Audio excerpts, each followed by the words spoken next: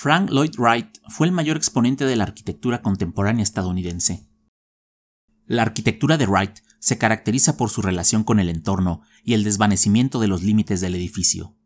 Cada obra tiene sentido únicamente en el lugar en el que se ubica, ya que es esa condición del lugar y la resolución funcional del programa las bases sobre las que se apoyan sus proyectos.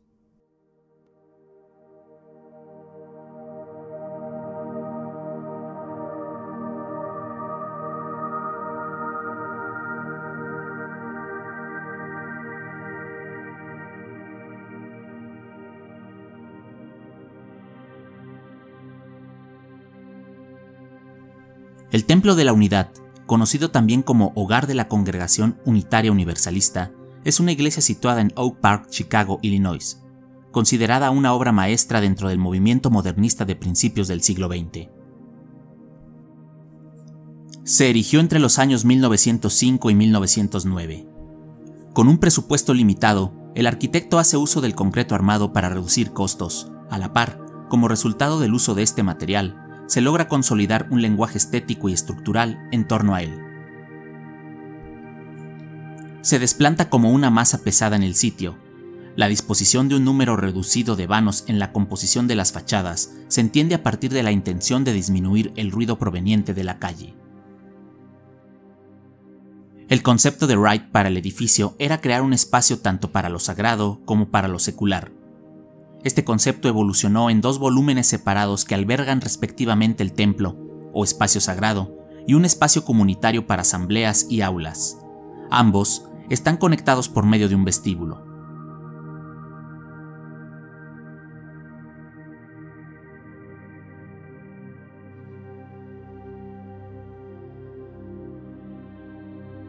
La Casa Robbie es el exponente más representativo de las llamadas Casas de la Pradera, diseñadas por el arquitecto. El cliente deseaba una casa protegida contra incendios, sin espacios cerrados y carente de elementos decorativos. Revestida principalmente en ladrillo romano, la vivienda se levanta en un predio en esquina, en el barrio de Hyde Park cerca de la Universidad de Chicago. La base de la composición es un gran bloque longitudinal, aparentemente simétrico, con una cubierta de poca pendiente y pronunciados aleros en ambos extremos. El juego de ventanas seriadas regula la composición sobre el lindero sur. Un volumen que conforma un gran balcón las enmarca, a la vez que proyecta una profunda sombra sobre una serie similar de ventanas en planta baja. Sobre el bloque principal emerge un nivel que aloja dormitorios. Este volumen genera un eje transversal que pone en movimiento toda la composición. A un costado se dispone un elemento vertical que contiene la gran chimenea, que ancla todos los planos horizontales por debajo de ella. Al interior, Wright proyecta un programa en donde los espacios se abren a los demás, con el objetivo de obtener transparencia visual, mayor profusión de luz y sensación de amplitud. A manera de divisiones entre los espacios, se recurre al empleo de particiones ligeras y plafones a diferente altura.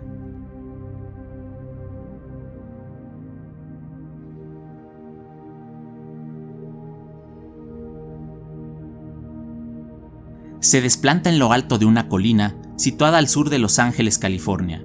Desde allí se obtienen imponentes vistas hacia toda la ciudad. La casa se construyó a partir de un sistema experimental de bloques de concreto.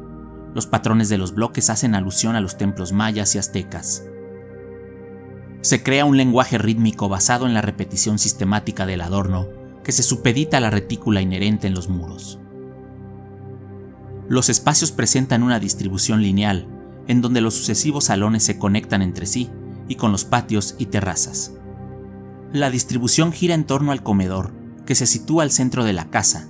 Adyacente a él se dispone el salón. Por medio de una gran logia se organizan los dormitorios. Desde una gran terraza se pueden contemplar las estupendas vistas de la ciudad.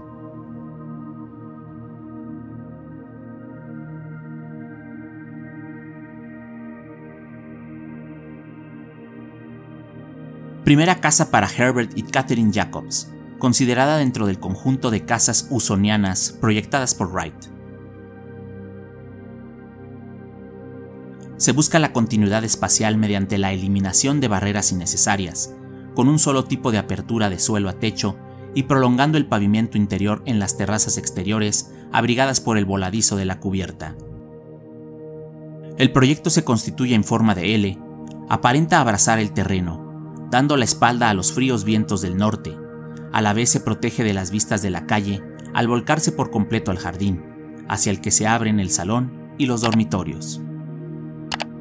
Se accede a la casa por la esquina exterior de la forma en L. Sobre el ala mayor del proyecto se alojan el salón, el área del comedor y la cocina abierta al comedor. En el ala corta se concentran los dormitorios.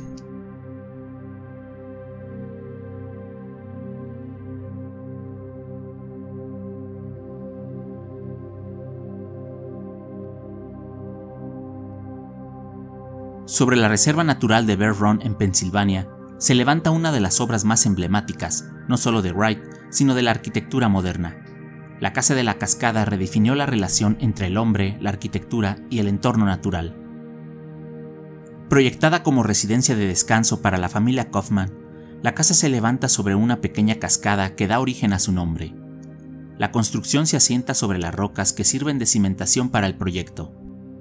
La composición volumétrica y la disposición en planta giran en torno al volumen de la chimenea, un delgado elemento vertical revestido por losetas de piedra, que contrasta con los largos voladizos horizontales que conforman algunas terrazas dentro del proyecto. Los ventanales permanecen exentos en las esquinas, con lo que se enfatiza la horizontalidad de las fachadas. El programa se distribuye en tres plantas. El primer nivel lo conforma la sala de estar, que nos ofrece una serie de visuales hacia el paisaje. El segundo nivel contiene la habitación principal y el tercer nivel aloja las habitaciones secundarias.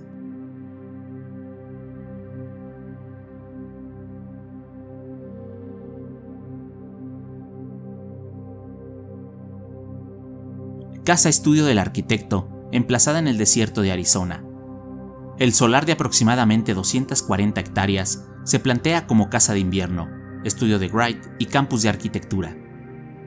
El interés de Wright por adaptar la arquitectura con su entorno próximo queda manifiesto en esta obra.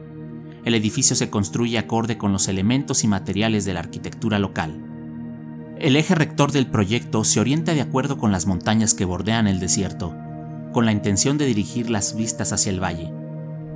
Las líneas de las vigas de madera actúan como reflejo de los perfiles que dibujan la cima sobre el horizonte. Las terrazas y espacios que conectan los distintos volúmenes del conjunto son un guiño al desierto que rodea la obra.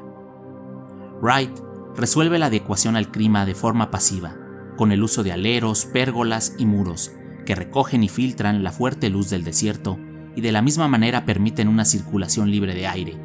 La cubierta se resuelve con unos marcos de madera sobre los que se coloca una tela que filtra la luz.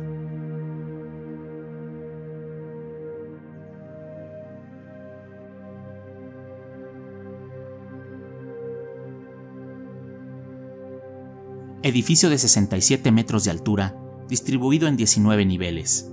En planta, el proyecto se secciona en cuatro cuadrantes, que se articulan en torno a un núcleo central, que asemeja el tronco de un gran árbol.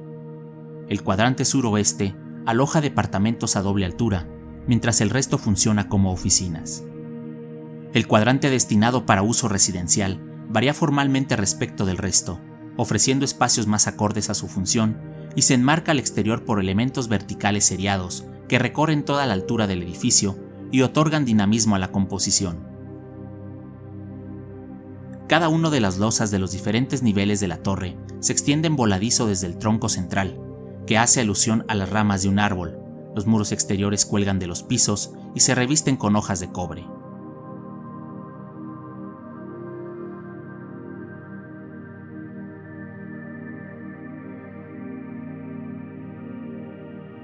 Obra póstuma del arquitecto.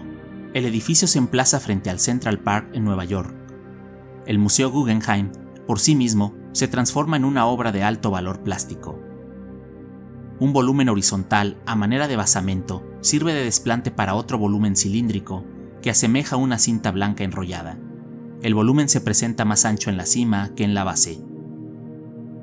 Al interior, las galerías forman una espiral perimetral, mientras se genera al centro del volumen un enorme vacío.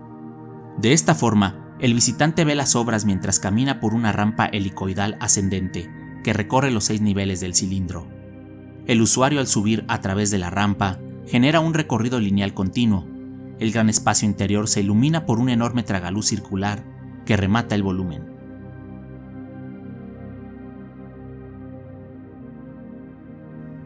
¿Hay alguna otra obra de este gran arquitecto que pienses que faltó incluir en este video? ¿O alguna en particular que te gustaría que analizáramos a fondo? Nos encantaría conocer tu opinión. Te invitamos a que nos las hagas saber en la caja de comentarios. Si te gustó el video, nos sería muy útil que le dieras like y nos ayudes a compartirlo. También te invitamos a suscribirte al canal. Por tu atención, muchas gracias. Nos vemos en la próxima.